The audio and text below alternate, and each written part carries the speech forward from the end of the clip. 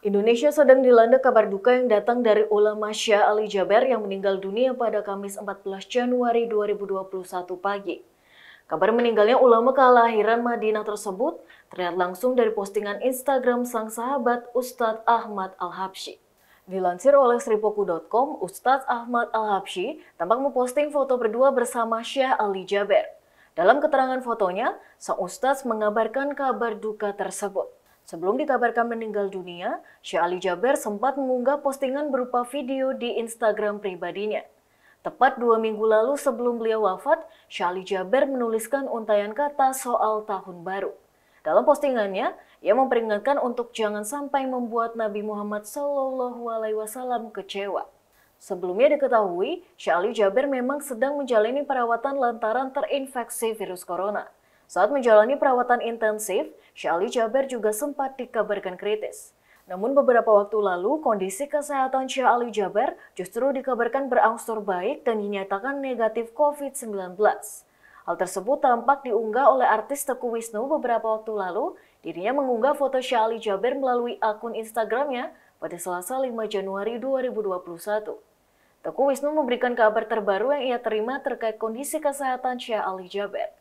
Teguh Wisnu mengatakan bahwa Syekh Ali Jaber saat itu tengah dalam kondisi semakin baik dan mengalami cukup peningkatan. Namun sang aktor masih meminta doa kepada warganet untuk mendoakan kesehatan Syekh Ali Jaber saat itu.